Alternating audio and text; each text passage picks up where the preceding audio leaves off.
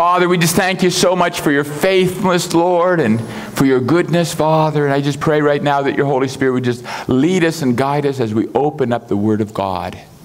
Thank you, Jesus. Thank you, Lord. Amen. Well, we've been doing a series on deception, the five ways of deception. And this is part four, and the reason is that last time was part three. And this time we're looking at the deception of our memory. The deception of our memory. In Galatians 6 7, just as a review, it says, Do not be deceived. God is not mocked, for whatever man sows, that he will also reap. Do not be deceived. The Bible contains many warnings for believers not to be deceived. The word exapataō in the Greek means to deceive thoroughly or to deceive completely. Exapataō is used only five times in the New Testament, and each usage portrays a different type of deception. To study these five types of deception, it is useful to study them in terms of our five senses and in terms of our triune being spirit, soul, and body.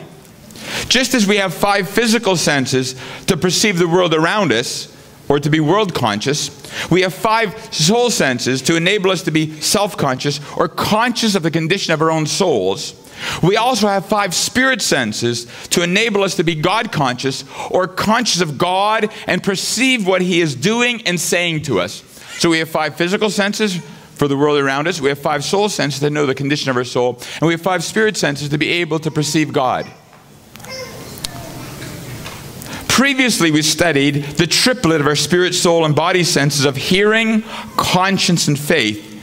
And we studied how sin deceives our conscience. We saw that in the natural, by our hearing, we hear the world around us. By our conscience, we speak to our own hearts. Are we doing the right thing? Are we doing the wrong thing? And faith is the way we hear God. We also studied the spirit, soul, body, sense triplet of sight, imagination, and hope. And we studied how we deceive our own imagination. And again, with our physical sense of sight, we see the world around us. With our soul sense of imagination, we picture things. And with our spirit sense of hope, we see what God is doing. And last time we studied the triplet of our spirit, soul, body senses of touch, affection, and love, and how our affections can be deceived. Today we're going to study the triplet of our spirit, soul, body senses of smell, memory, and the reverential fear of God. Our memory is the most intensely triggered by our physical sense of smell. An adult may not have visited a child home for decades, yet, if they smell something associated with that home, for example, their mother's home baked apple pie, a strong memory of that home will immediately be triggered. In, that, in their memory, it will also be as if they were right back in their home. You ever walk in, you smell something, and it takes you right back to a memory you had maybe decades ago if you're that old, that is. And so, and just, it, it, awakens you, and you remember that memory vividly, but not only you remember it, but you, you sense the emotions of that memory. When one encounters a particular smell, it can immediately transport us back to an earlier time into a pleasant or unpleasant memory associated with that scent. God created the natural world to reveal spiritual truths about the invisible attributes of God, which are clearly seen and can be understood through His creation, revealing even His eternal power and Godhead. In other words, God created the natural world to reveal the spiritual truth so we can understand that. Jesus often taught in parables, using examples from the natural world to reveal spiritual truths. The manner in which God created us physically provides with many examples and insights into how God created us spiritually. So God created us physically so we can understand how God created us spiritually. As we study our physical sense of smell, we can derive many insights into our soul sense of memory and our spirit sense of the fear of the Lord. There's a physiological reason for this strong connection between smell and memory. The part of the brain that detects smell, the olfactory bulb, is directly connected to hippocampus, the part of the brain that processes memory, and is also directly connected to the amygdala, the part of the brain that processes emotions. So the way God created our brain is the part that deals with smell, memory, and emotions are directly connected. And that's why when we smell something, our memories are immediately triggered. Not only is our physical sense of smell able to trigger memories, it also reactivates the emotions related to those memories. The fear of the Lord creates strong emotions generated from our reborn spirit, which produces both delight and awe at the reality of God. I want to read that again. The fear of the Lord creates strong emotions generated from our reborn spirit, which produces both a delight and an awe at the reality of God. Our physical sense of smell has two main functions which help us to understand the two main purposes for the fear of the Lord.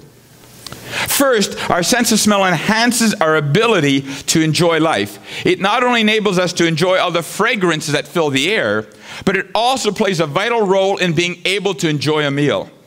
Do you know our, our taste buds, there's only five uh, types of taste that we can taste.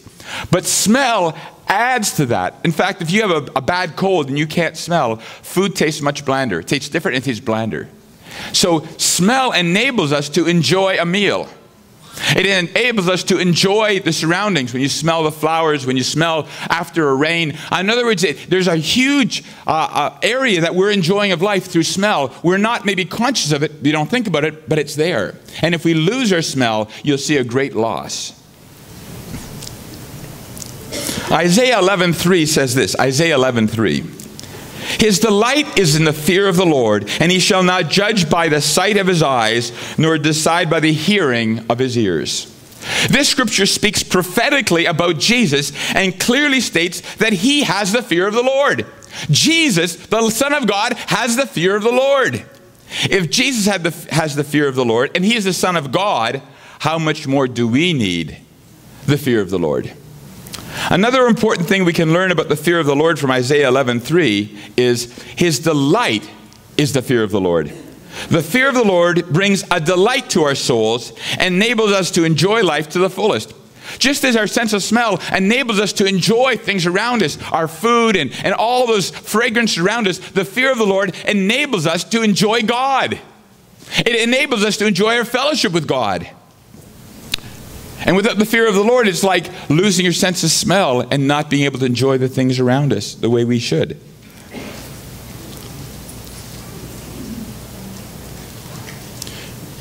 Christians who don't have the fear of the Lord are generally dissatisfied with their relationship with God. They look for other activities or possessions to fill the void, and some of those counterfeits can be very destructive to their lives. In other words, if you don't have the fear of the Lord, you, it's not enjoyable, it's not wonderful to seek God, to fellowship with God. You realize that? If you don't have the fear of the Lord, it's like, oh, I'll come to church, yeah, okay. You know, because the fear of the Lord enables us to experience God.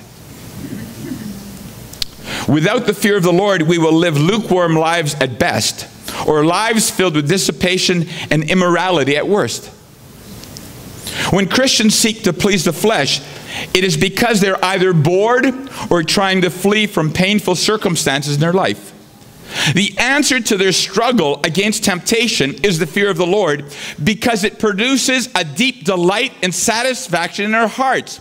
It fills the void so we, can, we no longer need or want to walk in sin. And as the fear of the Lord makes our relation with God enjoyable, it's a delight then. His delight is the fear of the Lord. The Hebrew word that is translated delight literally means to use the perceptible sense of the nose to distinguish odors or aromas and to respond appropriately. In other words, it means to smell.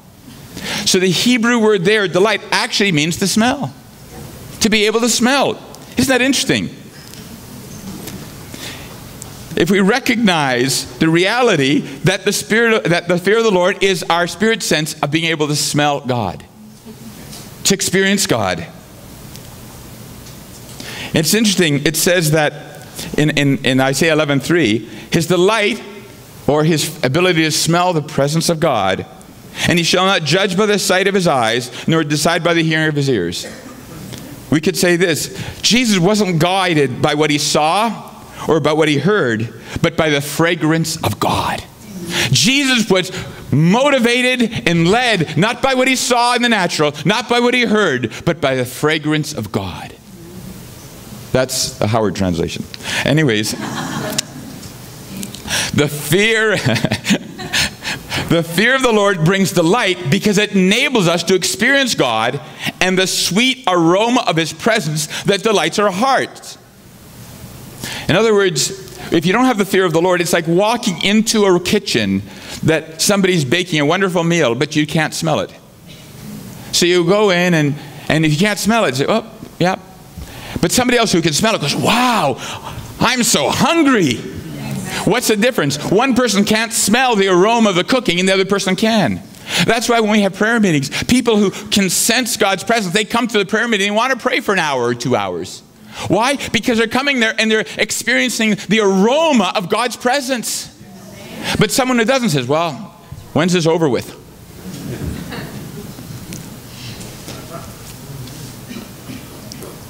The, the Hebrew word that is translated delight also means to come close.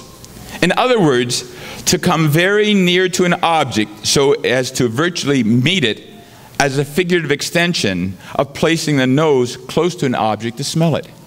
That's why it means that word can be translated coming close because when you want to smell something, you come really close. Like when I shaved last night, I said, You want to smell my aftershave? So my wife comes real close and smells it and says, That smells good. And so that's, but you, she bought the aftershave, that's why it smells good. But, anyways, but, but, anyways, but but the point is that so the word delight means also to draw close so you can smell the fragrance of something or someone. So the fear of the Lord speaks about having an intimate and close relationship with God. We delight to do what pleases God's heart because we're drawn close to Him and we're experiencing God. So you're getting a picture of what the fear of the Lord, the Bible teaches. Just as the physical sense of smell enables us to enjoy and experience the physical world in a way that brings us delight, the fear of the Lord enables us to enjoy and experience the delight of the closeness of God's presence. You know, in our church, God is moving amongst the youth in our church. I am so thankful to the Lord what God is doing. And you know, Wednesdays they have a prayer meeting, prayer worship time, and they start about seven o'clock at night. Sometimes they go to eleven or eleven thirty in prayer and worship. What would teenagers want to be three or four hours just praying and worshiping God? Because they have become accustomed to the fragrance of God's presence. Isn't that exciting? Our physical sense of smell not only enhances our ability to enjoy life, it also provides a second and equally important function that of warning us of something that is either dangerous or unhealthy. In other words, the sense of smell not only provides something pleasant, but it also warns us when there's something that's dangerous or unhealthy. Proverbs 16:6 In mercy and truth, atonement is provided for iniquity, and by the fear of the Lord, one departs from evil. And by the fear of the Lord, one departs from evil. Our sense of smell alerts us when food has spoiled, and the smell of smoke warns us when there is a fire.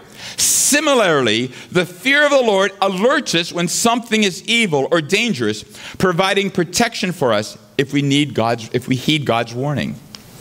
It says the fear of the Lord and by the fear of the Lord, one departs from evil. The Hebrew word that is translated departs means to change direction, to leave off, to turn away, to avoid. When we smell rotting food or excrement, we are instinctively repulsed. When we have the fear of the Lord, we immediately recognize when something is evil or defiling, and we turn away in disgust.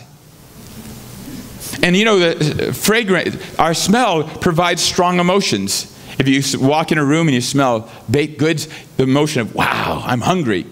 But when you smell something that's, that's gross, you're, oh, right? It's a strong emotion. And it, it provides us with protection. You don't have to teach a child, this smells bad and that smells good. They know. It's hardwired into them by God. You know, it's like, it's, it provides protection. Like, for instance, in our, our fridge, sometimes we have things that are a little bit older. I don't know if you ever have that in your fridge, but we have that sometimes in our fridge. And so I don't look at months, I look at years, right? Uh, what year is that? But, anyways, but, but when, we're, when, when it's questionable, my, I say to my wife, Can I eat this? She will take it. And what does she do? She takes it and puts her nose to it, and she either judges it and declares it safe, or this will kill you if you die, if you eat this, right? In other words, her nose knows, right? So it allows us to know what is good and what is bad, what will harm us and what will benefit us. Uh, I know, I'll clean up the fridge. So anyways, Proverbs 8:13. Proverbs 8:13. The fear of the Lord is to hate evil, pride and arrogance and the evil way, and the perverse mouth I hate. Just as a foul smell immediately produces a strong negative emotional response, the fear of the Lord will also cause us to hate evil and will enable us, uh, will be, will be uh, unable to tolerate the stench of sin. In other words, when we have the fear of the Lord, we'll immediately sense evil, sense sin, and we'll, wow, I'm repulsed by that. See the advantage of the fear of the Lord? The fear of the Lord enables us to detect the foul smell of pride and arrogance and the disgusting odor of perverse words. But I'm not talking about the arrogance or the pride or the foul words of others. I'm speaking about our own body odor from our fleshly ways of acting and thinking. God hasn't called us to judge others, but to judge ourselves and immediately recognize when we need a spiritual bath or a spiritual shot of mouthwash. Right? In other words, the fear of the Lord isn't saying, look at what that other person's doing. That's not the fear of the Lord. The fear of the Lord is to detect when we have a bad odor spiritually because of our attitudes, because of things we've said. That's the fear of the Lord. It doesn't take a spiritual person to point out failures of other people, but it takes a spiritual person to recognize our own. Nobody said amen. But, anyways, we're going on. We're going on. The sinful human condition causes us to see others' faults, but blinds us to the same faults hidden in our own heart. Jesus gave us a word picture seeing the speck in another's eye while ignoring the log in your own. You know, it's sort of like we always can see someone else's faults, but we don't recognize our own. For instance, you ever had somebody come to you and say, I can't stand that person, they're always gossiping? Well, you know what they're doing? They're gossiping about the gossip. Or somebody says, you know, that person's so judgmental. You know something? They're judging that other person. That person's so touchy. Well, they're really the one that's touchy because they're offended by that person. Or that person is so selfish, they always want their way, so I can't always have my way. So you see what happens is we see the failure in others, but we are blind to our own sins. But God wants us to have the fear of the Lord so we can detect when we have that bad body odor or need that spiritual mouthwash. The fear of the Lord enables us to focus on the reality of Jesus. And as we do, we become aware of the log in our own eye and see our need to repent. In other words, as we take our eyes off of others, the fear of the Lord makes us more conscious of God. And as we do, He shows those things we need to deal with. We don't have to look at ourselves and look at others. We look to Him. And as we do, we become conscious of what God wants to show us, what the Holy Spirit wants to show us. When we lack the fear of the Lord, we are judgmental and critical of others. When we have the fear of the Lord, we are merciful and patient with the failures and weaknesses of others. In other words, the fear of the Lord, when we see somebody fail or somebody offends us, we don't react to that. We are patient. We are merciful to them. The fear of the Lord awakens us to the ever present reality of God in our lives. As a result, we seek to please Him, not out of dread, but out of love. The problem is, many believers aren't aware that they're not really focusing on the Lord.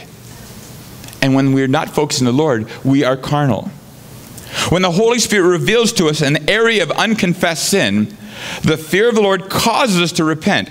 Our desire is always to experience the fragrant aroma of the Spirit of the presence of God, and for our lives to be an offering and a sacrifice to God for a sweet smelling aroma. In other words, when we have the fear of the Lord, our desire is to uh, rejoice God's heart.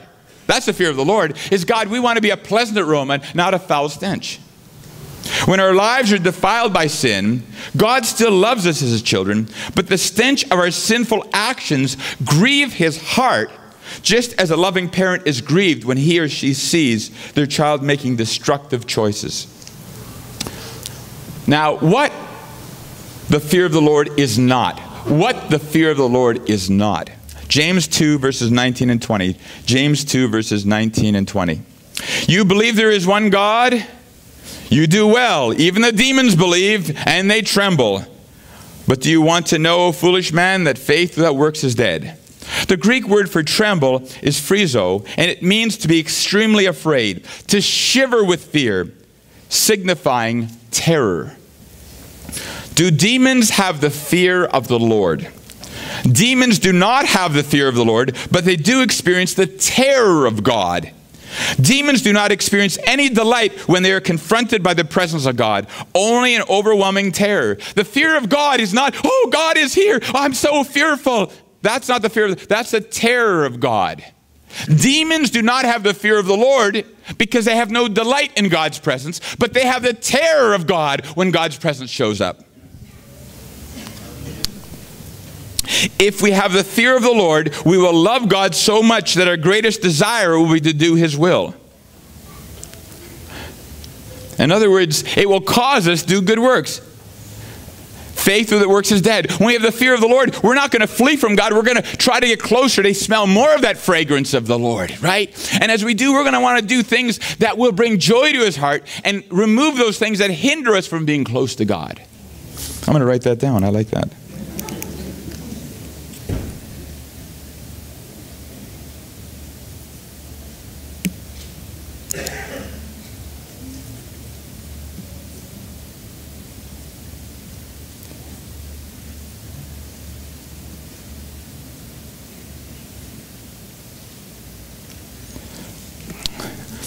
God wants believers to have the fear of the Lord, but He doesn't want us to be afraid of Him. I'm going to read that again. God wants believers to have the fear of the Lord, but He does not want us to be afraid of Him. Because when we're afraid of God, we withdraw from God. When we have the fear of God, we draw closer to God.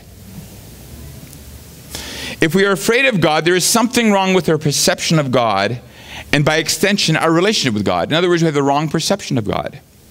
Either we have failed to perceive God's love, or there are things in our lives we refuse to relinquish which hinder our relationship with God. In other words, you have a backslidden Christian. The last place a backslidden Christian wants to be is in church. Right?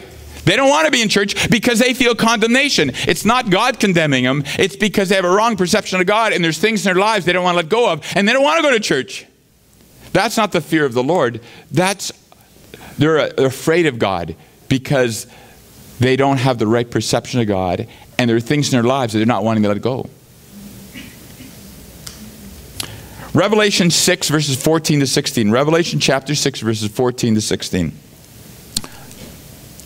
Then the sky receded as a scroll when it is rolled up, and every mountain and island was moved out of its place. And the kings of the earth, the great men, the rich men, the commanders, the mighty men, every slave and every free man, hid themselves in the caves and in the rocks of the mountains. And to the mountains and rocks, and said to the mountains and rocks, Fall on us and hide us from the face of him who sits on the throne and from the wrath of the Lamb. Revelation 6 4 14 to 16 describes what unbelievers will experience when Christ returns and how they will react to his presence. This is not the fear of the Lord, but the terror a rebellious sinner experiences when confronted by the holiness of God and his ensuing judgment. So, in the world, when Christ comes to judge the world, those who rejected him, they're not going to say, Oh, how wonderful. They're going to be filled with terror and say, Let the mountains fall and crush us, better than to be able to be experiencing the presence of God. It's so terrifying for them.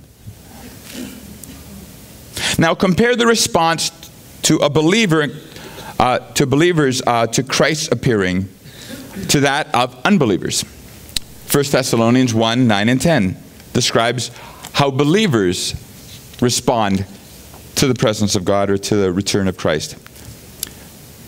For they themselves declare concerning us what manner of entry we had to you, and how you turned to God from idols to serve the living and true God, and to wait for his Son from heaven, whom he raised from the dead, even Jesus, who delivers us from the wrath to come.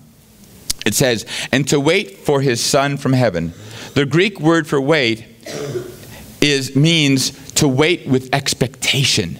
The Greek word means actually to wait with expectation. It signifies the anticipation and excitement of those who have been redeemed by Jesus Christ. In other words, the people who are we're saved, we're looking forward for Jesus' return. We're looking forward to that day that we meet him face to face. And then it says, who delivers us from the wrath to come.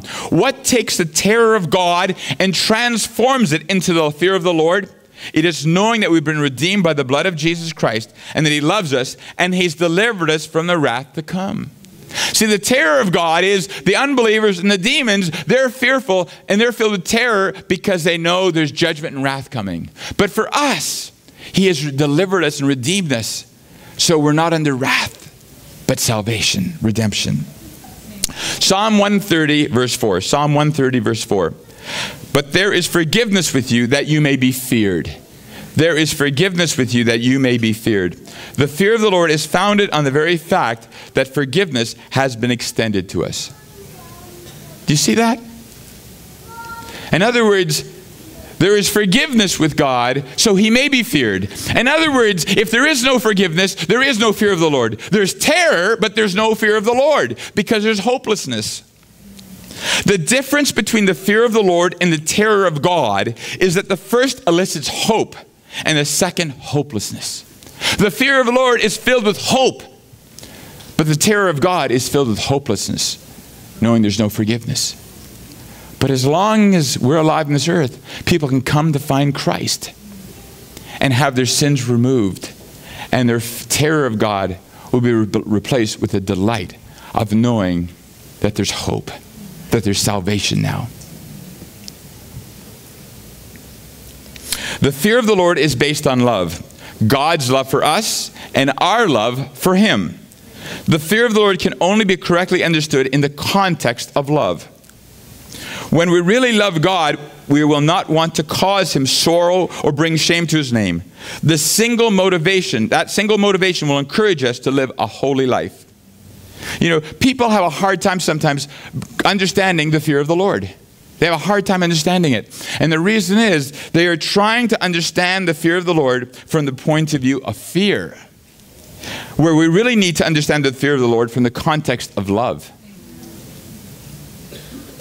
So that's why people are saying, oh, the fear of God. And, and they're, what they're doing is they're not bringing from the context of love, but of terror.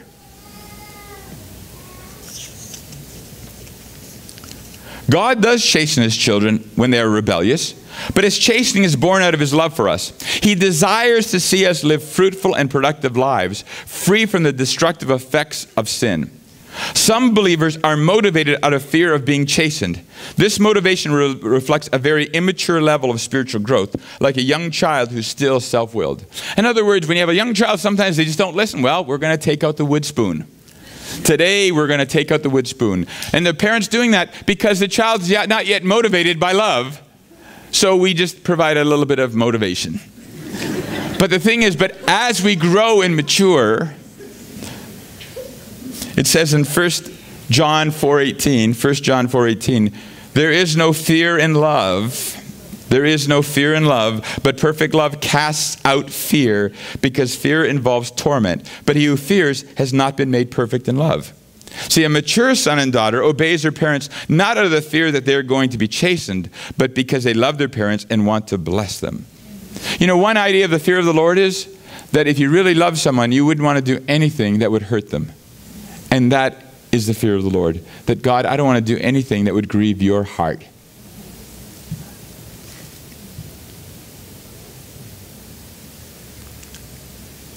Uh, the fear of the Lord is vital, and without it, we will live defeated and unfruitful lives. Without the fear of the Lord, we will serve God only at our convenience, and compromise will permeate our lives. In other words, the fear of the Lord is so essential for each one of us. You know, some people are in ministry, but they don't have the fear of the Lord. And yet the result is they have hidden sins. And eventually those hidden sins come forward and their ministry and life collapses and it brings shame to the gospel. It's because they don't have the fear of the Lord. They weren't ministering because they desired to fulfill God's will and to bless people with the gospel of Jesus. They were ministering out of a need to be seen. So it wasn't really the fear of the Lord. But when we have the fear of the Lord, the first thing we want to do is, Lord, I want to keep my heart clean.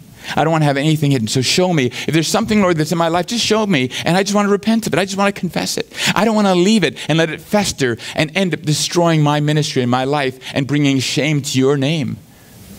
The gospel has been hurt so much by people who've tried to serve God, but without the fear of the Lord.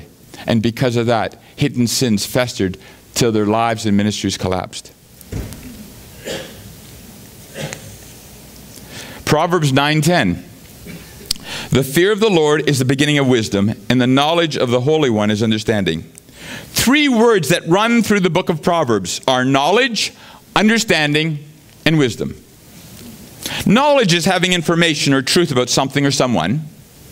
We can receive knowledge about God by reading the Bible, listening to sermons, or having discussions with fellow believers. Understanding is being able to grasp the significance of the knowledge one has received or possesses. Understanding takes the knowledge of God to a deeper level. We receive understanding by meditating and prayerfully seeking God about the things we have already know about Him. And under, understanding is like taking what we know and starting to really grasp it, to really understand it, to really say yes. But wisdom is the insight in how to apply the things we have learned and the motivation to actually do them. Wisdom is the application of those things we understand so our lives are actually transformed and become fruitful. Wisdom is where we begin to walk the talk. So, wisdom is not only knowledge, knowing it, understanding, uh, really being able to grasp the significance, but wisdom is actually doing it. You ever met a person who has all the answers but never improves his own life? Right? They always have a, yeah, you do this, you should do that, you should do this. That guy is a wise guy, but not a wise person. That's a joke. But, anyways, the thing is, because a person who's wise, if you see someone who knows what to do is right and is not doing it, that person's a fool. Right? And there is wisdom, is knowing what to do and then actually doing it. The fear of the Lord makes God so real to us that it changes the way we think and speak and act. That's why the fear of the Lord is the beginning of wisdom. The fear of the Lord enables us, empowers us to actually apply the things He's showing us. It's really interesting. Last night, at the same time, the fire department came by too. I don't know what's going on here. The fear of the Lord empowers us to take the things we know and have learned and begin to live them. It, begin, it gives us the ability, the power to actually apply those things to our lives. That's wisdom. Most Christians know we need to devote time to prayer and Bible study, but few actually do it. Right? Everybody says, well, should we spend more time in prayer and the Word? Oh, yeah, absolutely. But do you? Well, how many do it? Wisdom, the fear of the Lord gives us the ability to want to do it, to want to spend time in God's presence, to put our priority so God is first. That's wisdom. The fear of the Lord brings the reality of God into our lives, so we want to pray and study His Word. Not because we're afraid of Him, but because He is so awesome we can't get enough of Him. It's like we walk into that room and the fragrance of beautiful cooked food right? And we say, Yes, I'm ready to eat. And we come and start to say, God, I want to spend time in prayer. And our hearts are saying, Yes, Lord, I want to experience your presence. Psalm 111, verse 10. Psalm 111, verse 10. The fear of the Lord is the beginning of wisdom. A good understanding have all those who do his commandments. His praise endures forever. The fear of the Lord is the beginning of wisdom. A good understanding have all those who do his commandments. His praise endures forever. The fear of the Lord is the beginning of wisdom because it motivates us to obey God's commandments and to keep his word. Isaiah 11, uh, sorry, Isaiah 33, 6, Isaiah 33, verse 6. Wisdom and knowledge will be the stability of our times and the strength of salvation. And the fear of the Lord is his treasure. The fear of the Lord is his treasure. The fear of the Lord is his treasure. The Hebrew word for treasure means treasure, storehouse, or treasury, and can be translated as the fear of the Lord is a treasury. What's a treasury? It's a place that you put treasures in for safekeeping. Salvation is much more than escaping hell and getting to heaven. It includes inheriting all the promises of God and living an abundant life. Many Christians do not know how to guard the treasures that God has given them through His Word and the many wonderful experiences they've received. In other words, God does things in our lives, but, but we seem to lose them. But the fear of the Lord will enable us to keep them in a safe place where they stay, they're, they're safe, that we don't lose them. The fear of the Lord is described as a storehouse or treasury where we can safely store all the treasures God has given us. The enemy can't steal them, and we won't lose them out of neglect. Some things the enemy steals when we're not watching, and some things we lose because we neglect them. But the fear of the Lord enables us to be able to take all those wonderful things God has given us and to retain them and keep adding more and more to it. How does the fear of the Lord relate to memory? How does the fear of the Lord relate to memory? The fear of the Lord is being conscious of the reality of God. When we remember all that God has done for us and all his mighty deeds, we are filled with awe. The fear of the Lord is being conscious of the reality of God. When we remember all that God has done for us and all his mighty deeds, we are filled with awe. Psalm 77, verses 11 to 14. Psalm 77, verses 11 to 14. I will remember the works of the Lord. Surely I will remember your wonders of old. I will also meditate on your work and talk of your deeds. Your way, O God, is in the sanctuary. Who is so great a God as our God? You are the God who does wonders. You have declared your strength among the peoples. The reality of God fills our heart as we remember his mighty works, meditate on all that he has done, and speak about his deeds and how wonderful he is. That's how memory works. When we start to remember, wow, I remember you did that, Lord, and we start to remember and meditate on those things and then share them with others. Believers who constantly speak about God spend time in prayer, read the Bible, are filled with awe, and the fear of the Lord is their delight. Because God's real. If you, you see a Christian who's always talking about God and praying and, and sharing the gospel and just talking and, and worshiping God throughout the day, I mean, they're so filled with the presence of God. God is so wonderful. The fourth time that the Greek word exapataō meaning to deceive thoroughly or completely, is found in the New Testament is in relationship to our, in relationship to our soul sense of memory, and it is in 2 Thessalonians 2, verse 3. So I'd like to read 2 Thessalonians 2, verses 1 to 5. Now, brethren, concerning the coming of our Lord Jesus Christ and our gathering together to him, we ask you not to be soon shaken in mind or troubled, either by spirit or by word or by letter, as if from us as though the day of Christ had come. Let no one deceive you by any means, for that day will not come unless the falling away comes first, and the man of sin is revealed, the son of perdition, who opposes and exalts himself above all that is called God or that is worshipped, so that he sits as God in the temple, showing himself that he is God. Do you not remember that when I was with you still, I told you these things? Paul warns the church of Thessalonica let no one deceive you, thoroughly deceive you, by any means. He told them how to be protected from the type of deception which they were being confronted with. Do you not remember the things I taught you? This type of deception attacks our ability to remember the things we have already learned or experienced with God. The result of being deceived in the area of memory is that it produces fear and causes to be shaken in mind and troubled. In other words, they were deceived in their area of memory, and the result was fear and terror. Isn't that interesting? To be shaken in mind, to be agitated. The remarkable thing, this is what Oswald Chambers says. I love this quote. The remarkable thing about fearing God is when you fear God, you fear nothing else. Whereas if you do not fear God, you fear everything else. I'm going to read that again. The remarkable thing about fearing God is that when you fear God, you fear nothing else, whereas if you do not fear God, you fear everything else. Proverbs 14:26 says this, Proverbs 14:26. In the fear of the Lord, there is strong confidence, and his children will have a place of refuge.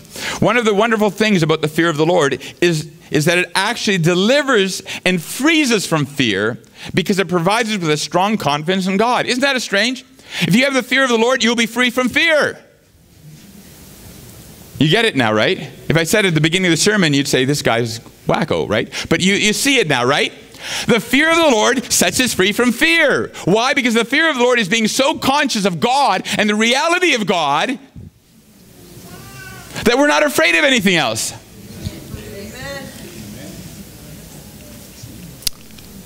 Christians who do not have the fear of the Lord often struggle with worries and the uncertainties of this life. I like what Corrie ten Boom said Never be afraid to trust an unknown future to a known God. Never be afraid to trust an unknown future to known God. This life is filled with unknowns. We don't know what tomorrow will hold, but we know who holds tomorrow. We know that the Lord is faithful, and we can trust God, and that will bring peace. But the fear of the Lord gives us the confidence of the reality of God in our lives. Remembering God's faithfulness provides us with a peace that passes all understanding. As we stated previously, sin deceives our conscience, and we deceive our own imagination, and Satan deceives our affections. Our memories are deceived by fictitious reports or information. Paul warns them not to be soon shaken in mind or troubled, either by spirit or by word or by letter, as if from us, but instead to remember what he had taught them. Fictitious reports can take on the form of spirit, word, logos, or letter, epistle.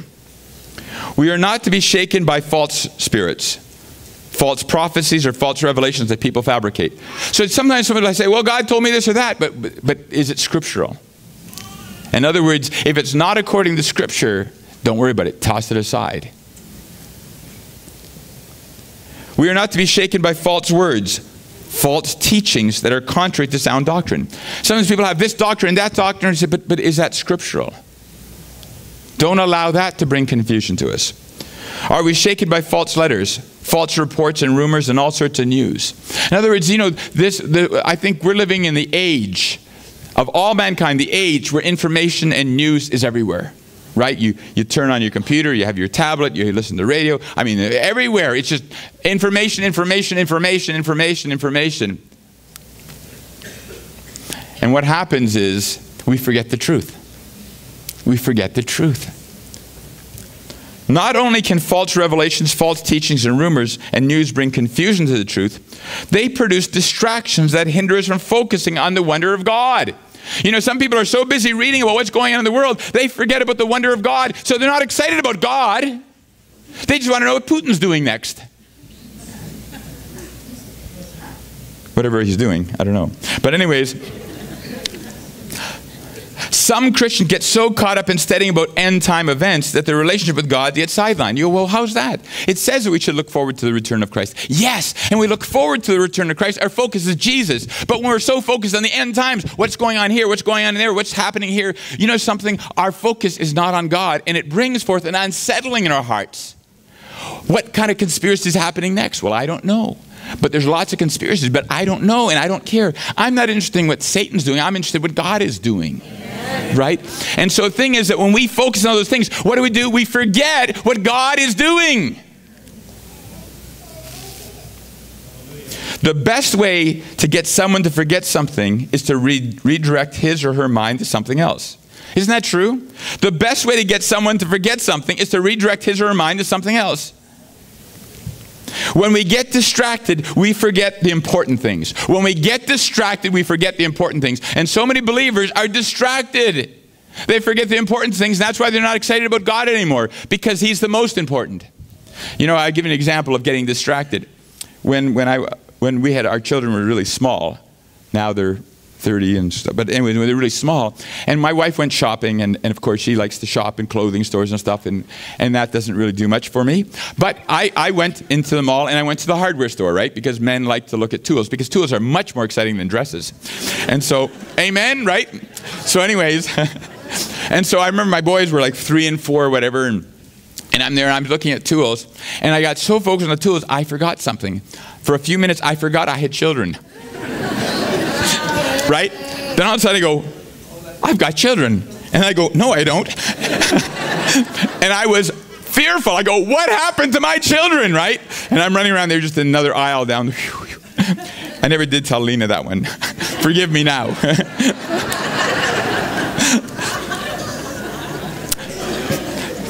Anyways, we're going to go on. but the thing is, so when we get distracted, we forget about the most important things. The things of God. When we're so interested in what's going on around us, but we're not excited about God, that means we have forgotten and we've been distracted. Our memories have become deceived. Our memories have become deceived. And the things that we should remember, we're not remembering.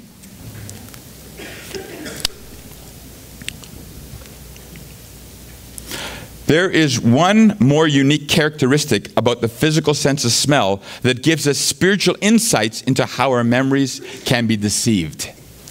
Smell is not only the is, smell is the only physical sense that can quickly become desensitized to its environment. Do you realize that? The sense of smell grows accustomed the sense of smell grows accustomed to a certain odor or scent and no longer detects it such as the fragrance of perfume one is wearing or the scent of one's own house. You know what I mean? Isn't that true? You put on some cologne or something, you put it on, and a few seconds later, you can't smell it anymore. And no matter how hard you try, you can't smell it. In other words, it just goes. Do you ever notice that everybody's house, house smells funny except your own? Your house doesn't have any smell at all, but everybody else has a funny smell, right? You ever notice that? That's because your nose becomes desensitized to that smell. But hearing is different. Like, for instance, you can be in a room and there's a clock ticking tick, tick, tick, tick, tick. And after a while, you can block that out. You don't notice it. But as soon as you want to, you can hear the ticking again, can't you? But with smell, you can't do that. No matter how hard you try, you can't smell how your house smells. The only way you'll know if your house stinks really bad is you leave for two weeks and you come back.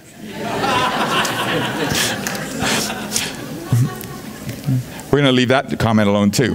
So, one air freshener manufacturer coined the term nose blindness referring to the physiological phenomena nose blindness. Memory can be deceived in a similar fashion when we remember a certain experience, but it no longer has any impact on us. For those who have come to know Christ as their Lord and Savior, there are times when we've experienced the joy and the wonder of God. The times when God supernaturally and instantaneously healed people. The times when God answered prayer in amazing and totally unexpected ways. The times when we were in such difficult and, and seemingly impossible situations, and God transformed our circumstances into a blessing. And each one of those times when God intervened or invaded our lives in a very tangible way, we were filled with such joy and peace and love, we felt we'd always be thankful and joyful. However, the impact of those memories faded as we succumbed to nose blindness. We lost the wonderful fragrance of those experiences and memories. You know, those who know the Lord have all had experiences with God. People have been healed, God answering prayers. I was talking to Pearl this morning. I remember about, it was about eight years ago? Um, in my office, Pearl, we were working together, and, and one fellow came in, Russ, and he had broken his hip. He was a Christian, he'd come to the church. He had broken his hip and it put it together, but it didn't heal properly. And he couldn't put any weight on it, so he was on crutches. He couldn't put any weight. It was not only a lot of pain, but it had no strength. So he came in, and, and Pearl, you were there, and we just prayed for him for about two minutes. And all of a sudden he goes, The pain's gone. And then he did something remarkable. He stood on his bad leg and he did squats. He just did squat. Remember that? He walked in five minutes before, he could not put weight on that leg. We prayed for him. Two minutes later, God supernaturally healed him. That not only the pain was gone, but he could squat his whole weight on the one leg that he couldn't even stand on five minutes before. Remember that, Pearl? Isn't that amazing? But why I'm saying that, why I'm saying that is if we bring that memory alive again, it will fill us with confidence and joy. How many things has God done in your life, but you have allowed nose blindness to cause you to be desensitized to that memory? And we need to resensitize ourselves to the marvelous things God has done. I could go on and on and on with the way I've seen God move miraculously in people's lives, in the church, not only our church, in other churches too where I, there's situations like, God, how, can I ever, can you ever resolve this? And God resolved it. And so what it did is, as we begin to ponder those things he's done, we again waken those memories because they faded, the impact. That's why we're not joyful and thankful then. But as I spend time in the word and prayer every day, one of the things I do when I begin to pray is I begin to give thanks for those things. And as I do, I awaken those memories and the strong emotions of peace and joy and thankfulness that is produced by those memories. No matter how much God does for us, no matter how many miracles we experience or people He heals, we will never benefit from the long lasting impact of those memories until we learn how to keep those memories fresh within our hearts. God has done so many amazing I love sharing what God has done with other people. You know why? Because when I do it, it awakens those memories to me. Wow, that was amazing. Amazing what God does. And I go, I mean, not what I've read in a book, not what somebody told me 100 miles away, what God has done in my life and in your lives and in our, in our surroundings. Isn't that amazing? And so we need to learn how to keep those memories alive. You know, when a, you know, sometimes you have a Christian struggling. Oh, and they say, life's really tough. And I said, well, let's just pray. Well, I'm just kind of down. And let's just pray. Let's start worshiping God. So we start worshiping God. After about 10 minutes, they say, I feel so much better. I said, I didn't know why I didn't do this three days ago right? Because they forgot the experience of enjoying God's presence. The memory of those experiences. Or I remember Jamie Sue, right? It was about a year and a half ago. She came in when she first came to the. It's okay if I point you out. Well, it's too late now, anyways. So, um, so, but I remember when she first came in, she kind of she she looked at me like, "You were jaded." Yeah, I was crazy. I, I didn't want to say that way, but yeah, that was true. You looked at me like we were crazy. But I remember that one, you're coming for about a month, and that one Sunday when the presence of God came over you. And you got filled with the Holy Spirit and you began to speak in tongues. Right? And uh, she went from being like one person to another person in one second a time. In one second a time. And I remember that. I go, wow, God, you are so amazing. You are so amazing. Well, we think about that. Every time you're down, you think about that. You go, wow, it will awaken those memories, that fragrance of God's presence in your life. See, that one memory alone would be enough for your whole life, but he's done so many things and so many more he wants to. But if, if, no matter how many times God answered our prayers, but if we don't learn to awaken those memories and keep them fresh, it'll never be enough.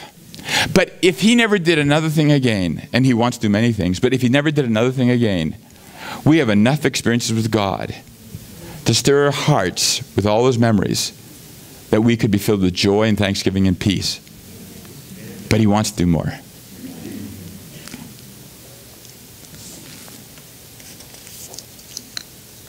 Also, with memory, that just as we become desensitized to good smells, we can be desensitized to bad smells. Sometimes I deal with people that when they have struggles with addictions or different things, we all have struggles in, and then they go back to that behavior. And then later on they go, oh, why did I do that? But at the time when they're being tempted, they forgot the memory of what it was like that after they did it, how, how much it hurt them and how bad it was. But we need to awaken our memories so we don't do those things. Oh, I don't want to do that because when I did it, I felt so lousy. And it caused so much pain and harm. In other words, we need to awaken those memories of the things that were wrong so we'll say, I don't want to do that anymore. I don't want to do that anymore because that was destructive, that was painful. So we want to remember the good things to stir us, but also want to remember don't do that anymore because that hurt last time.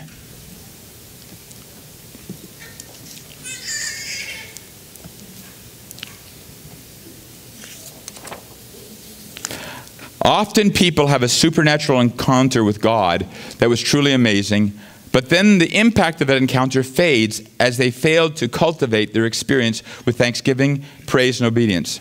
The supernatural experience does not mean they've arrived at a vibrant relationship with God. It is an invitation for them to respond to God so they can develop a more vibrant relationship with Him. That's what it is. When, we, when you have a supernatural, we had another brother, Jordan, right? On Wednesday, we prayed together. And the presence of God came on. You started speaking in tongues. I mean, this guy never even knew what it was. He walked in. I thought, this guy could hardly walk when he left that prayer meeting. Isn't that true? He didn't know what was going on. How are you excited about God, aren't you, right? It's overwhelming. It is so wonderful. God is so wonderful. God is so wonderful. But the thing is that we need to learn how to keep those experience is vibrant. The, the experience is not saying you have arrived. The experience is an invitation for you to take that experience and use that experience to be excited about God, to grow in Him. That's what it is. It's an invitation. Many people think, well, I've arrived now because I had a big vision or I had this experience. No, no, it's an invitation. Now go on. Now move forward. You know, 22, I've been a believer 38 years, but 22 years ago, I had a special encounter with God and he filled me with the Holy Spirit. It was just a really amazing encounter. I don't have a lot of encounters like that. Just, but you know something? I had a decision to make. I could say, well, that was really neat, and, and let it fade. Because a lot of times people have real experience with God, exciting, but then they just kind of go on, and the, the memory of that fades, and they fall back into their old routine.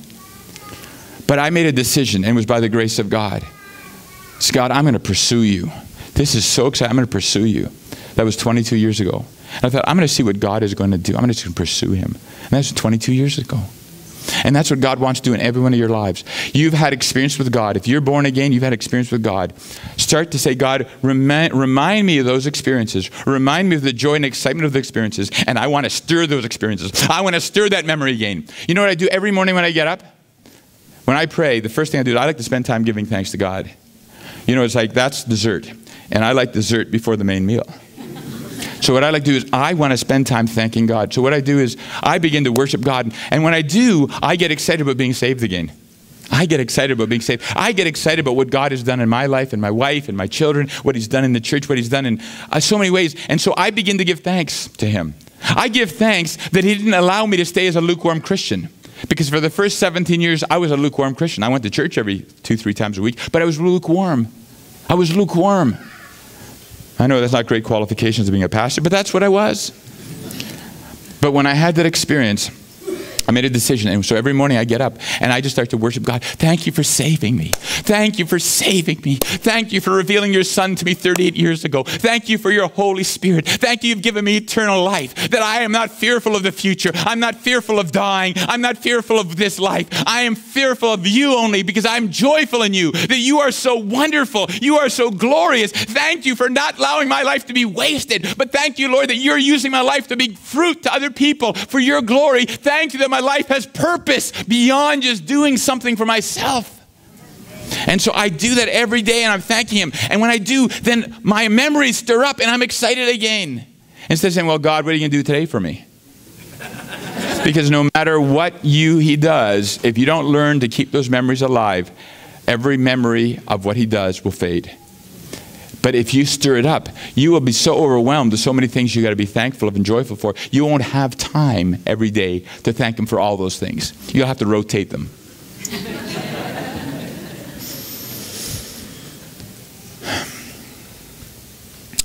if a person has an, has an encounter with God, but they fail to act on that experience with God, they soon, then soon the impact of that encounter will fade and the window of opportunity will close. God doesn't close the window of opportunity. They close it by neglecting to pursue God, and the memory of that experience fades. You see that? It's like when God does something, it's an invitation for you now to respond. But if you don't, that window of opportunity closes because the impact that memory fades on you. However, if we choose to experience God, however, when we experience God, we use that experience as a springboard to pursue Him in a greater way, then that memory and its impact will stay fresh within our hearts and minds. As we remember what God has done, our hearts will continue to be filled with the reality of God, and that really defines the fear of the Lord. In other words, take every one of those experiences you've had and start to stir them up. And when you get a new experience stirred up, you know what I do? You know I do this is I, I write down every time there's a prophetic word that God has given me. Every time God does a miracle, whatever, I write these things down. I got like 300 typewritten pages now. And I, have got them dated and everything else. And I go, Lord said this, and then so many years later, he did that, or so many weeks later, or so many days later. And I go, wow, this is so mind blowing. This is so. People say, how do you believe in God? I say, how do you not?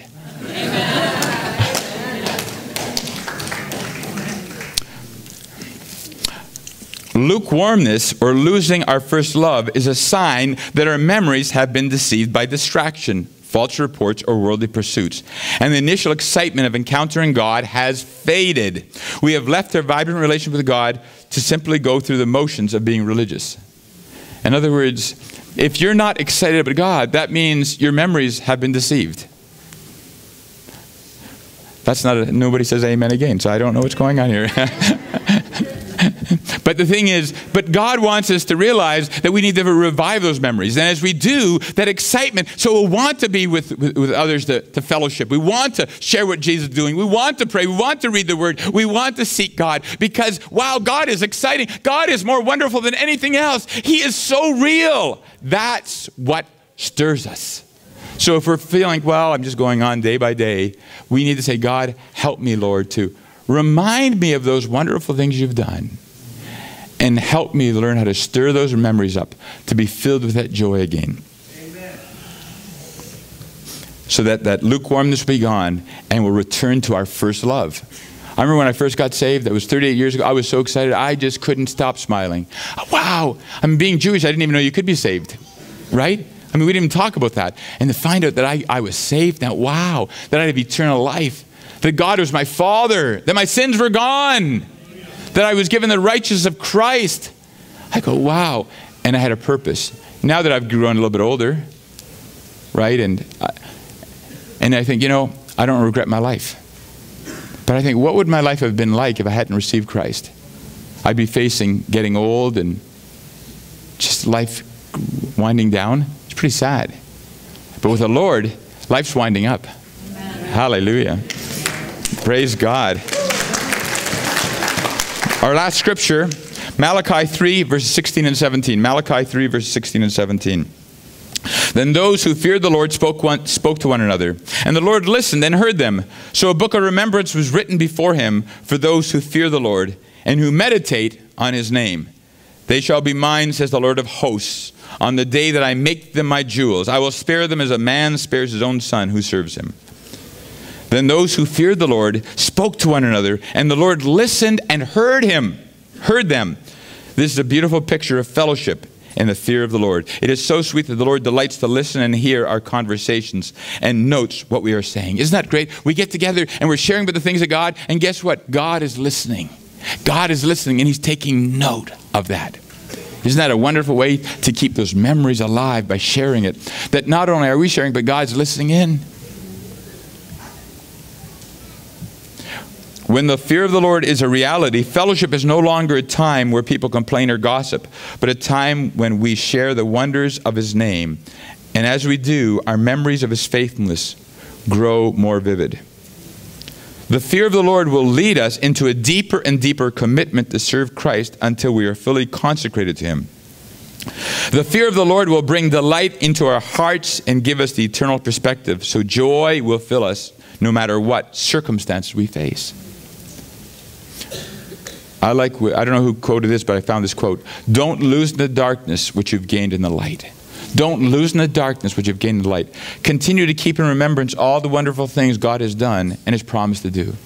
There's times that God has shown us wonderful things, but then there's darkness that comes. We have difficult times. But don't lose in darkness the things that God showed in your light. The things that God did in your life. Keep those memories alive. And so I want to summarize the fear of the Lord. The fear of the Lord can be summarized up in three words God is real. God is real. God is real. That is it. God is so real. It's so wonderful. He is so wonderful. So we're going to, uh, where's Dave and his team? We're going to uh, turn, we're going to pray, and then Dave's going to come and and lead us in some worship. And those who want prayer, we're going to ask the prayer teams to come forward. We're going to leave the front area open for those people who want to just pray on their own. But otherwise, you can come and you can pray, and, and we're going to have them come to, the, to this aisle here, and then Liz will organize. But let's just turn to the Lord in prayer. Father, we are so thankful, Father, for your great love for us, Lord. Oh God, your ways are so perfect, Father. Your plans are so perfect, Father. Oh God, thank you for salvation, Lord. Thank you that you're so awesome. Thank you, Father. Thank you for your Son, Jesus, who died for every man, woman, and child, every person who ever lived and ever will live, Father. That those who turn and receive him will be saved.